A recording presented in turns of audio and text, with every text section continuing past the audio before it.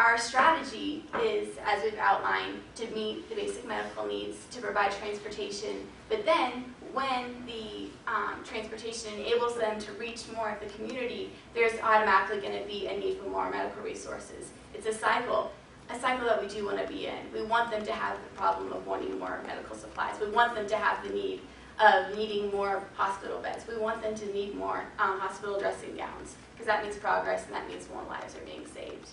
Now, if I could take you back to the beginning of our presentation, we watched a short news clip detailing that um, South Sudan had just become a new nation. Literally just months ago, they became their own nation. And this is what's so exciting for you and for ourselves, is we have an opportunity to directly influence uh, influential region of South Sudan and possibly set a precedent for how other medical clinics will be conducted, how um, gifts are going to be given to implement the community, and then possibly this could be implemented and become the precedent in other communities in Nyambuli, around Nyambuli, and throughout South Sudan. The vision of this campaign is yes to bring the medical resources, yes to provide transportation, and yes to um, have a plan for expansion, but also a plan to maybe invade the neighboring countries of South Sudan that then be um, an example to those around them of what a community or a nation looks like when they are um, sufficiently cared for medically, which then causes the people there to be able to work more, to put more into their agricultural society, which in turn implements the economy, which in turn enables them to have more effective government and less rebellion. As you can see, um, that's an amazing opportunity, and we're just glad that we were able to have a part of it and we can share it with you here today. So there's one thing to have a vision, as I believe that we've detailed to you. But um, as the Bible says, you have to have a vision, make it plain upon tables, and run once you read it. And so in order to bring about this change that we foresee, we have to have a budget plan. So I'm going to take a few moments and describe that to you. Um, we've decided that the budget could be most effectively um, displayed and explained through two different phases. The first phase would identify the basic medical resource needs, um, and as well as provide the different means of transportation. We have outlined exactly how much it would cost, um, considering getting things into the nation as well through international aid services, um, how much it would cost to, to get an ambulance, an all-terrain vehicle, the bikes, um, things such as hammers and nails, bunk beds, blankets, just to get the clinic off its feet again to be in a place where it can bring in more um, of the people in the community and start to serve them better. So that would be the first stage, enable them to reach more. Secondly, the second stage would um, be contingent upon the increase of patients, as we talked about earlier, um, being able to provide all the supplies that they would need if they were coming in in a greater um, amount. And so um, here is just a list. I know it's kind of boring to look at, but it's kind of amazing how far our money can go here. Just for example, um, stopper gauze, which is extremely vital from keeping disease from being spread and from a person's wounds to heal properly. Um, it can be bought for three three dollars and forty two cents for a package, and then times that by 100, which would approximately last them um, several months, maybe up to six months.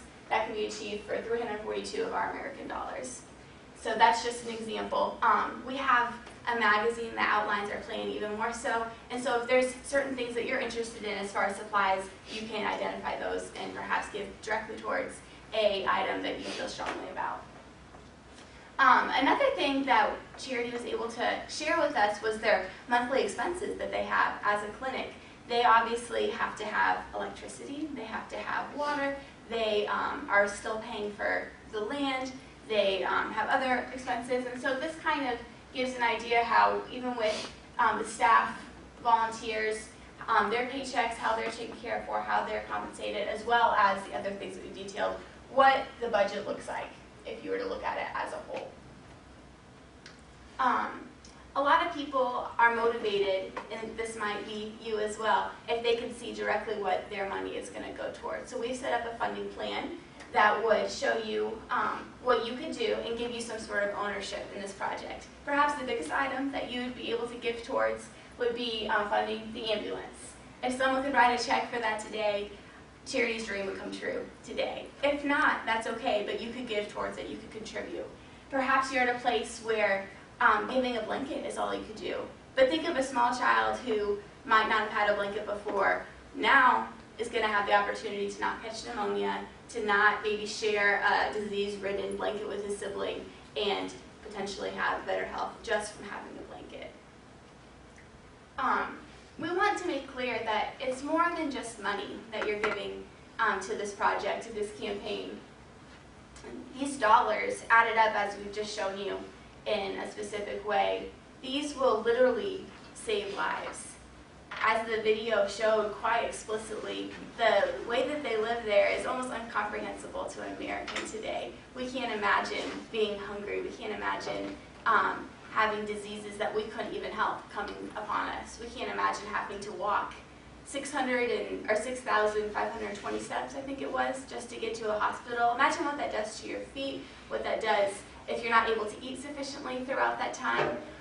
When, when you look at this project, and if the Lord's telling you to give, don't think of it in just the terms as a number you write in your checkbook, but think of it as children being able to have medical attention for the first time in their life. Think of it as an expecting mother being able to deliver her baby in a safe environment and stop infant mortality statistics that are so high. Um, credibility, a lot of people are concerned about money that's um, supposed to be for missions as great as this, but actually get taken to other places. We want to um, just reaffirm that there is a worldwide organization that we're working through, National Aid, International Aid Services. And so if there's any concerns about how this money will be allocated, they um, are extremely upfront with how they do business, who their contacts are, and would be more than happy to answer any of your questions, as well as put you in as direct a contact as possible with charity.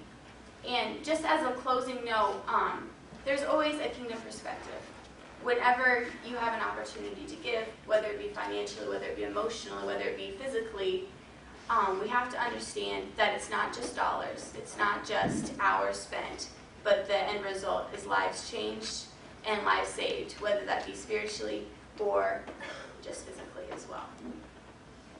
And um, just to give a final perspective of what this kingdom perspective looks like, what these lives changed would actually look like, Sarah's going to tell us a short story. This is a story, a sample story from Charity's blog, actually. In the village of Nambuli, there was once this 12-hour-old baby boy. His name was James Day, and his mother was rushing him to the clinic. She was very frightened. He was born prematurely, and as a result, his body weight was very tiny, and his breathing was irregular. And as a result, he could not be. As soon as Charity saw that, she immediately took action and put him on feeding tubes to keep him alive. And because there was no resources and because Charity was there, he lived.